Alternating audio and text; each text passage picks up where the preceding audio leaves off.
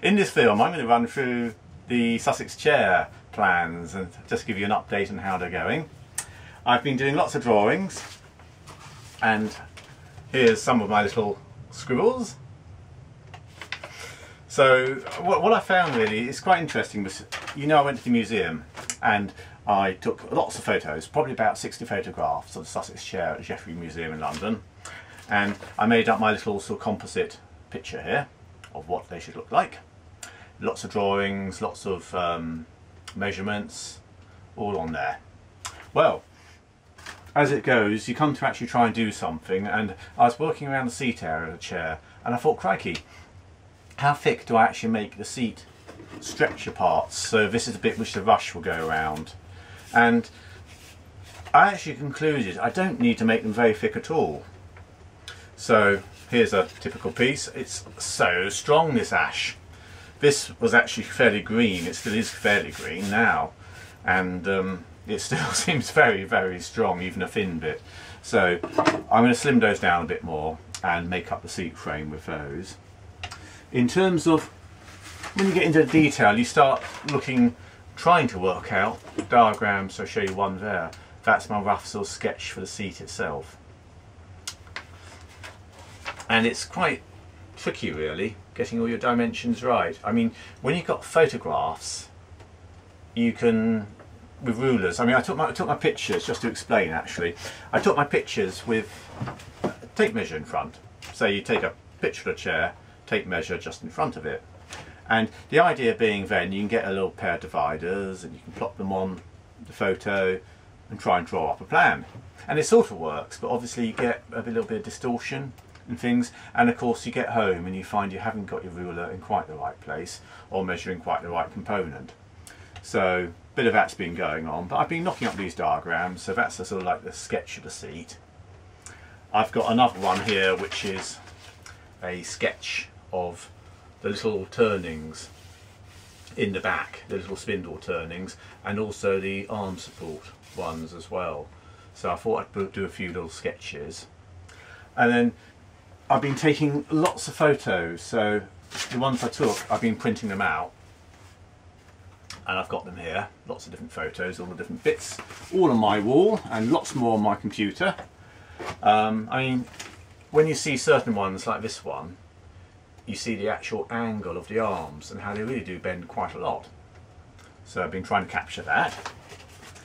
And then I went on to the Bodgers, the good old Bodgers website, so that's bodgers.org.uk, and someone there was talking about re-rushing a couple of Sussex chairs. So I actually got pictures of the rush, just when the rush had been taken off, of the actual seat frame which is great because it actually lets you see roughly what sort of clearances of wood there are underneath that rush. And that's the sort of thing you can't see on a museum chair if it's still got its rush in place. So quite pleased about that. So anyway, I'm surrounded by pictures, been doing lots of drawings, and I've been doing lots of sort of like wood preparation. So my um, dear old sister's yew tree, which got felled last year, well parts of it, just really to try and help preserve it. It got fungus, honey fungus in it. So she's still got it, but it's been heavily cut back. It has some quite nice bits of wood in it. So what I've been doing is cleaning it up and just splitting out more bits. So I've got lots of bits here, all on the side. And um, I'll try and turn up the little back turnings with these. I think that could be quite nice. So we'll see how it goes. And the other thing I've been doing is knocking up some bending formers. So I'm going to be boiling the sort of arms and the spindles below the arms and also the rear legs. So I've been making these like bending formers. There's going to be a, an opposite one here which will come down in the vise and actually make that straight spindle curve around this surface. So that's the idea there. Just doesn't show exactly what I mean, but if you get the idea, you clamp that together in a vise, excepting it's pressing on these as well, so it's a curved piece. And that should do it. So I'm knocking those up, and um, I'll show all of this on a separate video, but I just really thought I'd just share this with you now to give you a bit of an idea, and really just to give you a bit of a flavour of you, you take lots of photos.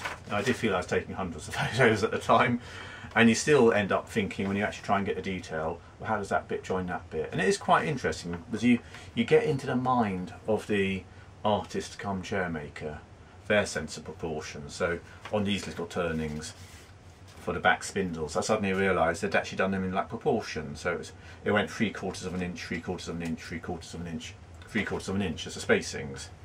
And you just see little things and you think, yeah, that's, that's nice sort of balance in there. And that's probably why the whole design works overall. That's one of the joys really, apart from just doing the woodwork. When you do something like copying a chair, you start to get a bit of a sort of feel into the mind of the, of the maker. And that's always quite interesting to me. And see, we see it through our eyes today. They were in a completely different mindset probably about how they saw things. But that's, that's always quite interesting. So there you are.